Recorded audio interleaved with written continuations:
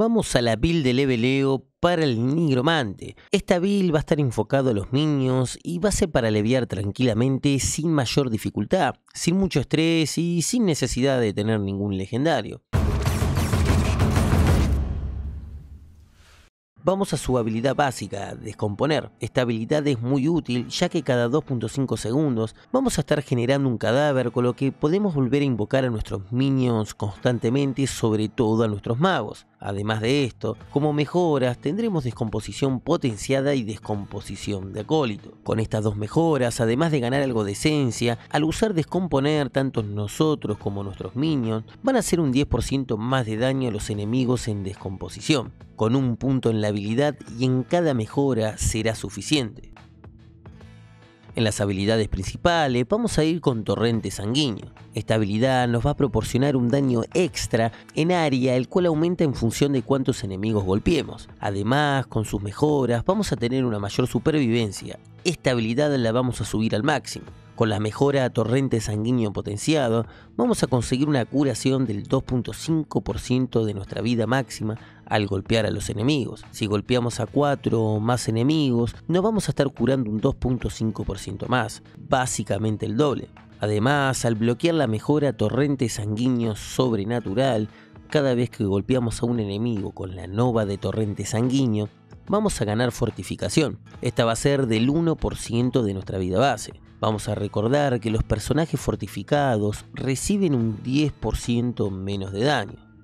Además de torrente, también vamos a usar infestación como nuestra segunda habilidad principal. Con esta habilidad, además de hacer una buena cantidad de daño extra, vamos a aumentar el daño de nuestros minions gracias a sus mejoras. Primero, vamos a desbloquear la mejora infestación potenciada que va a ralentizar a los enemigos un 25%. Y luego, infestación sobrenatural, con la cual tanto nosotros como nuestros minions vamos a estar infligiendo un 15% más de daño a los enemigos con infestación.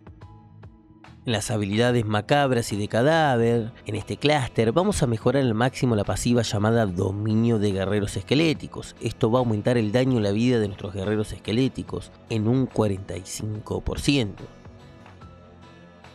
En cuanto a las habilidades de maldición, que es en el siguiente clúster, vamos a mejorar al máximo la pasiva Dominio de Magos Esqueléticos. Al igual que con la pasiva anterior, este nodo va a aumentar el daño en la vida de nuestros magos esqueléticos en un 45%.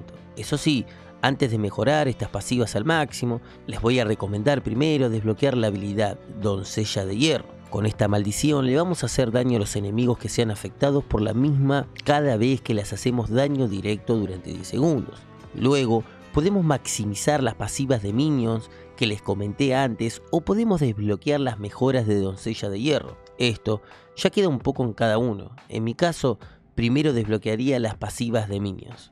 Ahora, en cuanto a las mejoras de Doncella de Hierro, tendremos Doncella de Hierro potenciada, que hará que Doncella ya no gaste esencia, sino que ahora por cada enemigo maldecido nos va a dar 5 de esencia. Esto no funciona con enemigos que ya estén maldecidos por Doncella de Hierro. Como segunda mejora, vamos a tener doncella de hierro abominante. Esta mejora nos va a dar una mayor supervivencia, ya que nos va a curar un 5% de nuestra vida máxima cuando muere un enemigo afectado por doncella de hierro. También vamos a poder optar por la otra mejora para tener un poco más de daño. Tenemos un punto de sobra que vamos a poder usar en lo que queramos. En mi caso, fui alternando entre la pasiva caparazón necrótico, que por cada cadáver generado por nuestras habilidades o por nuestros minions, vamos a ganar fortificación y la otra pasiva, persecución del segador, que nos aumenta la velocidad de movimiento un 5% durante 3 segundos cada vez que hacemos daño de oscuridad.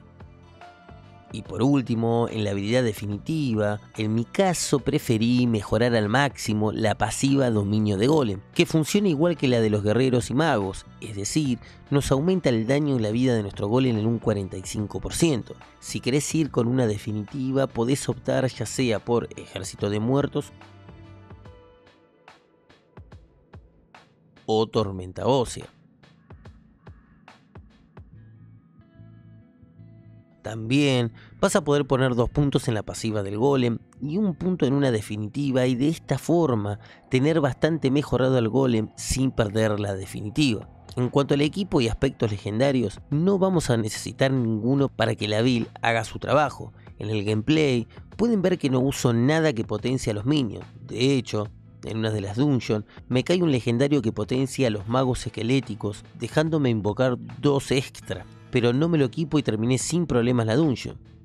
Cualquier poder legendario que potencie alguna de las habilidades que vamos a usar o a nuestros minions nos van a venir de 10 puntos.